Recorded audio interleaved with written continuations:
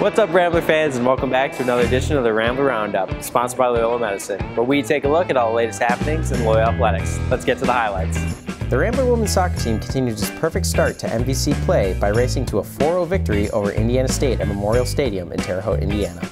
For the second time in as many weeks, Loyola senior Jenna Szczesny has been selected as the Missouri Valley Conference Women's Soccer Offensive Player of the Week. Szczesny has now earned the weekly honor three times this season. In an overtime thriller, Billy Hensey found the back of the net in the 92nd minute to clinch the match and come away with a 2-1 victory for the Loyola Soccer. The win was the Ramblers' first against Bradley and Peoria since 1995 and was the 300th all-time win in program history for the Maroon and Gold.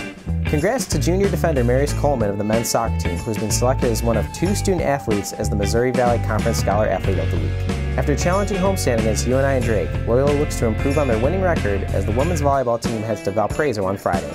Match time is set for 7 p.m. on ESPN3. Coming off the first individual victory of his collegiate career, Loyola sophomore Tyler Anderson has been selected as the Missouri Valley Conference Men's Golfer of the Week. This marks the first weekly league honor of Anderson's time in Rogers Park.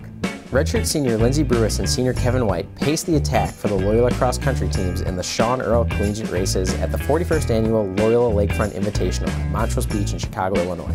The Rambler women accumulated 232 points to finish 8th in the team standings, finishing in front of Power 5 foes Texas A&M and Nebraska. While Loyola men's side came in 15th with 403 points. Loyola caps off the regular season portion of its 2018 schedule in just under two weeks on October 12th at the Bradley Pink Classic in Peoria, Illinois. This week's edition is brought to you by Loyola Medicine. Loyola Medicine. We also treat the human spirit. That's it for this week's edition of the Rambler Roundup. We hope to see you around campus, and as always, go Ramblers.